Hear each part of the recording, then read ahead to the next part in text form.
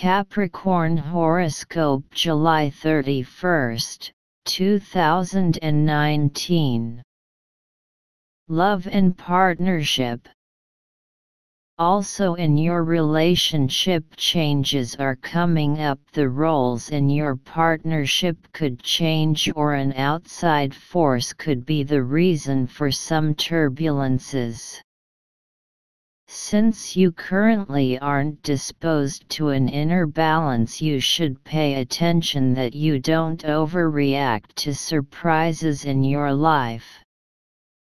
You should focus on what you have and what you want and then approach it all with an inner calmness. Flirt Love for singles. If a lot of new things happen and not all appear positive at first, be prepared for subsequent surprises.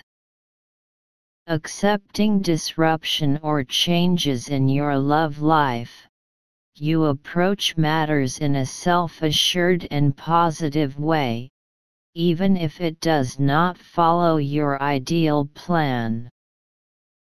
Allow for plenty of improvement and progress in your love life. Family and friendship. In your private life, you feel like you're walking through a minefield dash one false move and there will be an explosion. This will really put you to the test. Don't let others blame you for everything. Sometimes they are at fault too.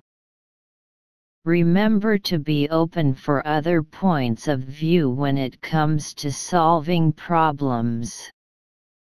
Reconciling both is a difficult, but not impossible task.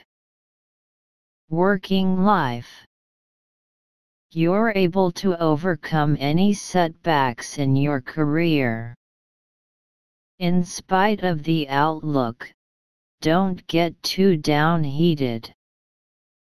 Choose to frame the situation as a challenge instead of a setback.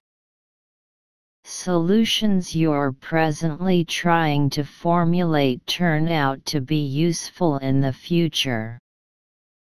Additionally, don't be too proud to ask for any help you need. Money and finances. Financial commitments can be problematic. The ideas you put forward during discussions aren't effective and others will want to patronize you. You could be confused by this and enter into loss-making investments.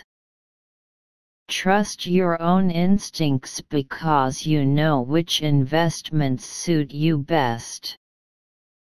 It's always good to listen to advice, but you should always be critical before taking it.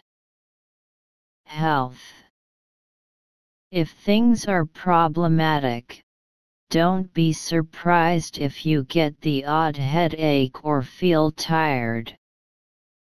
It's possible concerns around recent events have left their mark on you. Work on building up your body's resilience and take plenty of exercise. Get the sleep you need and try to eat especially healthy foods that are beneficial.